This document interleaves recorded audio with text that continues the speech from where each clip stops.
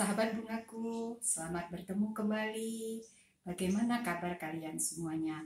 Tentu gembira dan penuh sukacita. Saya selalu bersyukur dengan keadaan sahabat-sahabat di mana pun sahabat berada. Hari ini kita akan belajar tentang satu bentuk dasar rangkaian yang luar biasa indahnya. Rangkaian ini jarang dirangkai oleh para perangkai uh, biasa. Karena itu sebenarnya rangkaian ini cukup baik, cuma memang merangkainya agak sedikit memerlukan uh, kehati-hatian. Karena itu silahkan berlatih karena rangkaian ini sangat eksklusif. Uh, sahabat uh, bungaku namanya yaitu bentuk dasar diagonal. Nah, bentuk diagonal ini biasa dirangkai dalam wadah yang tinggi. Saya sudah menyiapkan wadah dan beberapa materi bunga. Kita mulai, nah bentuk diagonal dimulai dengan tiang utama yang tingginya satu setengah atau dua kali wadah. Ya, kita melihat satu setengah ya atau dua kali wadah. Kita rangkai di bagian samping tengah ya ke arah yang kita kehendaki.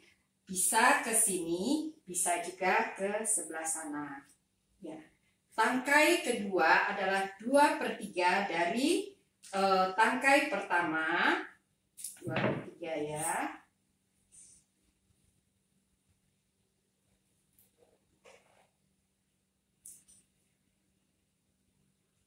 ya. Sisi yang berlawanan Ya, dia membentuk satu garis diagonal. Ya, diagonal ya. ya.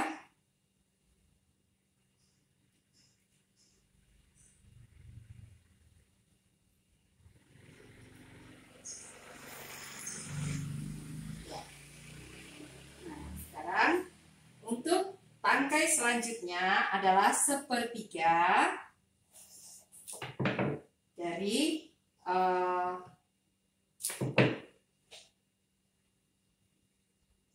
ya jadi sepertiga dari tangga ini karena itu inilah daerah-daerah yang bisa kita isi bunga-bunga. Sekarang bagaimana ke depannya sama dengan tangga yang ketiga.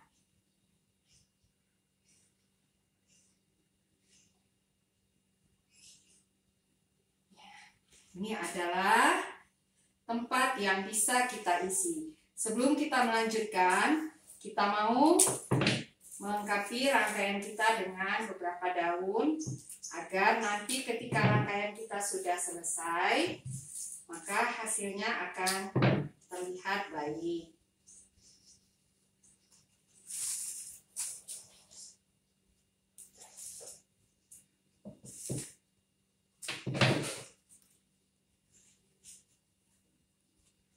Ini ya rangkaiannya ya sahabat semua. Dia bentuk diagonal yang segaris.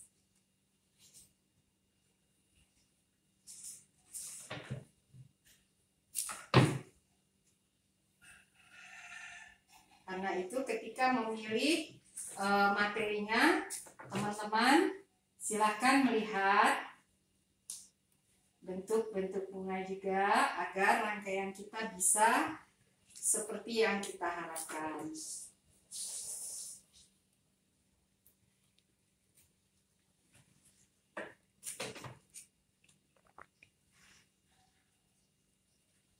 Ya, ini bentuknya sudah jadi.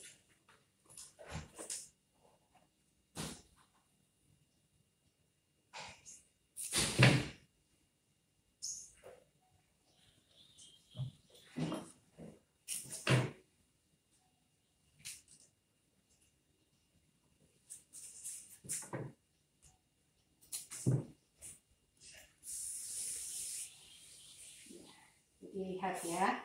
Dia makin uh, pendek mengikuti bentuk yang boleh kita rangkai inilah uh, tempat yang boleh kita rangkai sekarang kita mengisi rangkaian dengan bunga-bunga yang lain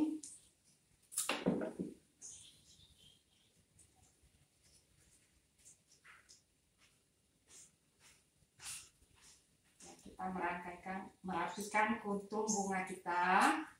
Kalau dia terlihat kurang baik, kita perbaiki.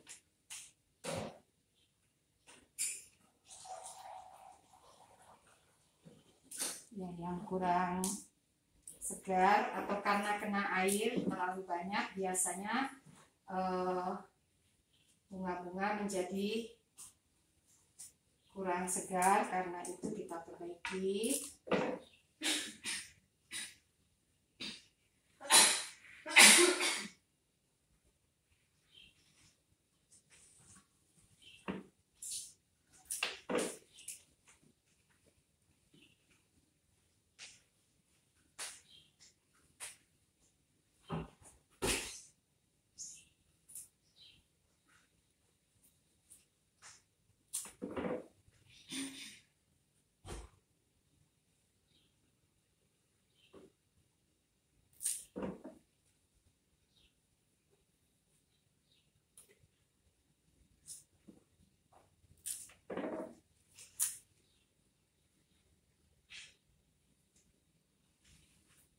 perhatikan kuntum-kuntumnya. Pengisian bunga juga sudah cukup baik. Kita lengkapi dengan bunga-bunga halus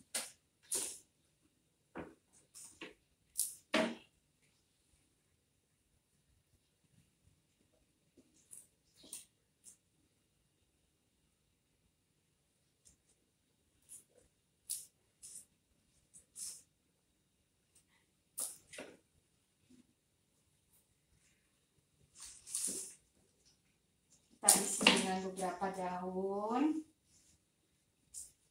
Ya, agar wadah tempat kita merangkai tidak terlihat.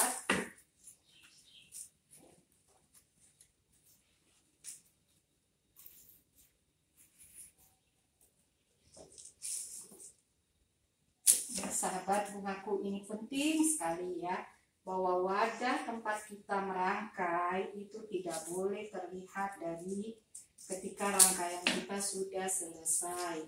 Karena itu kita tutup dengan beberapa bunga atau daun.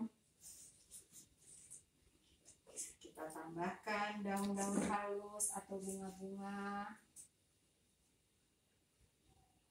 Kelihatannya kurang segar ya.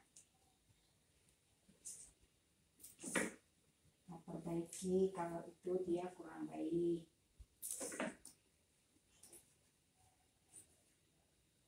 Kita perhatikan mana tempat yang bisa kita isi lagi. Rangkaian ini bisa dirangkai dua sisi.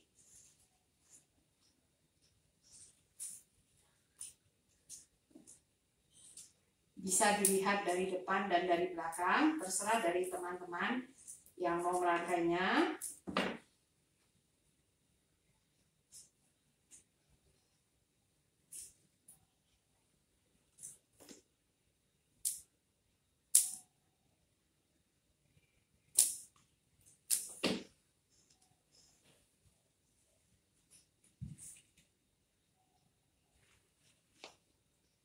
Ya bentuknya sudah terlihat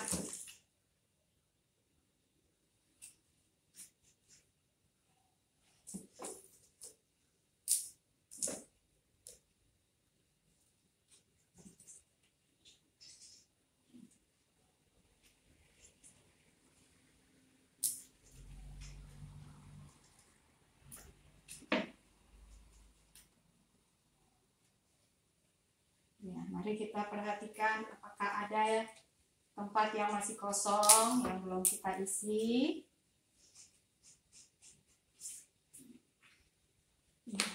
Rangkaian diagonal kita sudah hampir selesai. Kita kembali memeriksa bagian belakang untuk mengisi daun-daunan.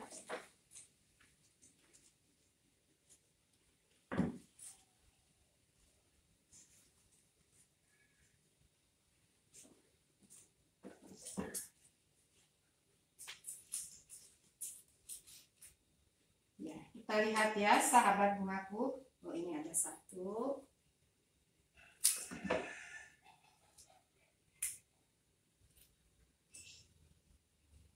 Ya, merangkai bunga itu sangat menyenangkan ketika kita merangkai dengan hati yang gembira. Ya, sudah cukup baik. Ya. Sahabat bungaku lihat ya, bentuknya cukup unik. Kenapa rangkaian ini jarang dirangkai? Karena dia memerlukan keahlian tersendiri sehingga banyak orang biasanya uh, merasa rangkaian ini sulit padahal sebenarnya kalau kita pelan-pelan kita rangkai maka kita akan mendapatkan hasil yang luar biasa indah dan yang terakhir kita membersihkan tempat kita merangkai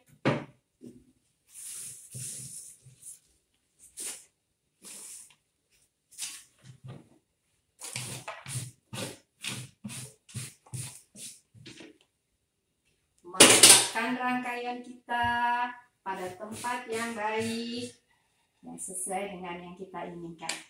Inilah rangkaian diagonal sudah selesai. Sahabat bungaku, rangkaiannya cukup unik dan sangat klasik. Karena itu, bentuk ini sebenarnya luar biasa indah.